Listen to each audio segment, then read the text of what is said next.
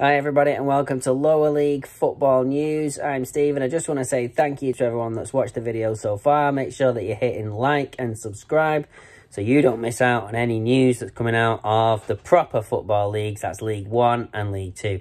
Proper football for proper fans. Now I'm bringing you news today that Plymouth Argyle, the biggest club in the South uh, the southwest. Couldn't figure out the point to the compass then. The biggest club in the southwest have managed to buy some land um, close by to build a new training complex.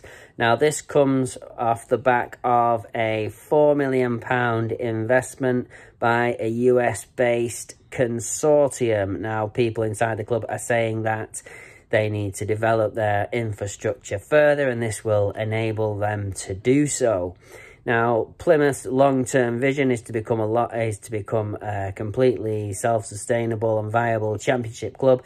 Now, they missed out on the playoffs on the last the playoffs for League One on the last day of the season, and they will be keen to get promoted this year. But I'll be completely honest, it's going to be a really difficult job for Plymouth to get promoted, especially when they're competing with big clubs like Derby County, Sheffield Wednesday, Bolton Wanderers, um, and many more. There's quite a lot of big clubs in League One this year. And, well, you could say that they are at least um, putting a foot in the right direction by building the new training ground. Like I said, it comes off the back of a £4 million investment from a US-based consortium.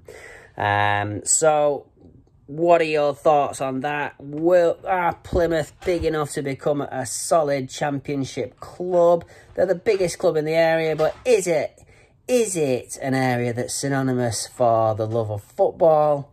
Maybe.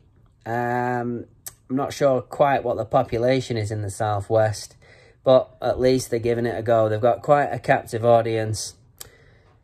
You've been watching me, Stephen. Don't forget to hit like and subscribe to get all your news on Leagues 1 and 2 from Lower League Football News. Thanks for watching.